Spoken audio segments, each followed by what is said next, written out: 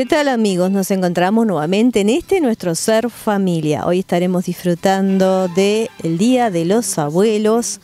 Continuaremos conociéndose Prodi por dentro y también conociendo algo más sobre las neuroartes.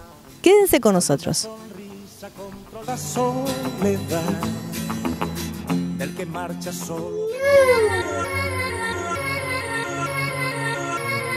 Yeah, y'all know what it is.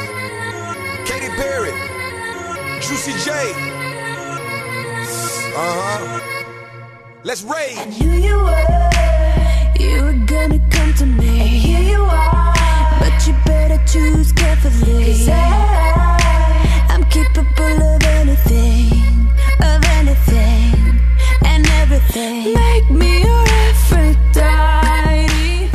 Acabamos de celebrar nuevamente el Día de los Abuelos, un día precioso para compartir con nuestros mayores el amor, la ternura de sus niños chiquitos, para conocer un poco el rol que cumplen los abuelos hoy, insustituible dentro de la familia, al igual que siempre. Estuvimos visitando la actividad que se realizó en el colegio crecemos, donde los chiquitos pudieron expresar su amor, su ternura hacia sus abuelos a través de bailes, a través de juegos.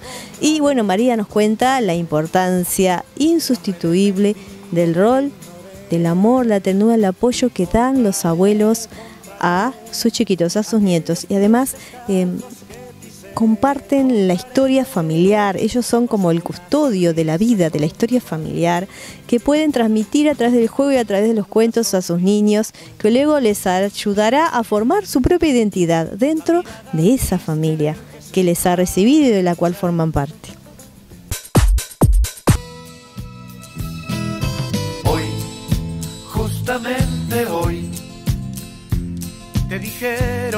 Serás abuelo. No puedes comprender ese sentimiento que te hará vivir un nieto. Hoy, justamente hoy, yo te vi reír, yo te vi llorar, pero de contento. María, acabamos de celebrar nuevamente una fiesta tan especial y tan importante para nuestros chiquitos como es el Día de los Abuelos. ¿Qué lugar ocupan estas personas tan importantes en la vida de todos, en los más chiquitos?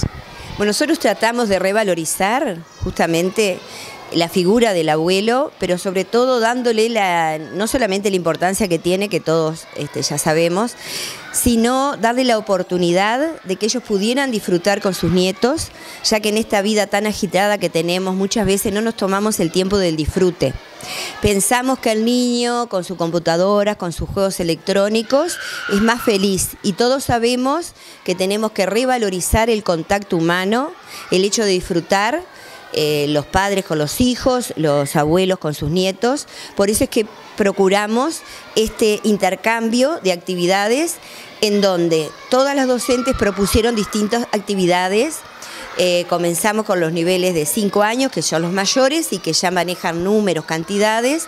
La propuesta fue el realizar esos juegos tradicionales de la época de los abuelos, como el tatetí, el ludo, la rayuela, juegos que muchas veces los niños ya no, realizan en sus casas y que los abuelos tampoco este, los revalorizan y los eh, realizan este, en los hogares.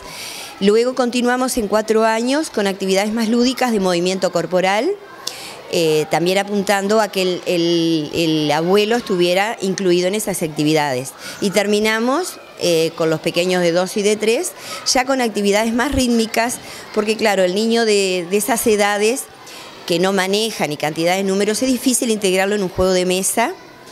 Puede ser algún tipo de lotería, este, ludo, pero bueno, pensamos que mm, era más divertido para ellos el poder hacer eh, actividades con música, de movimiento, porque claro, es la primera instancia donde ven los pequeños tantas personas, si bien tenían a su núcleo familiar, pero a la vez también estaban los abuelos de todos los otros compañeritos, muchas personas extrañas para ellos, muchos niños y maestros y adultos en un espacio eh, para compartir.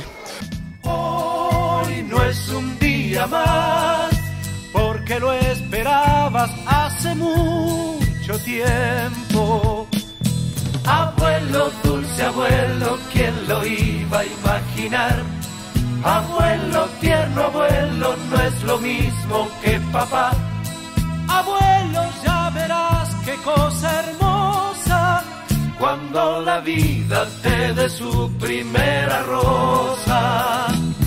Abuelo, ¿quién lo iba a imaginar? Abuelo, tierno abuelo, no es lo mismo que papá. Vivís acá, compras acá, porque te gusta apoyar a tu barrio, a tu zona, a tu ciudad, porque sos parte de una comunidad que se desarrolla, porque acá encontrás de todo. Si tu compra es local, nos beneficiamos todos. Compra local. El comercio de cercanía es tu mejor respaldo. Organiza Cámara Comercial de Pando. Apoya TVL Televisión Local.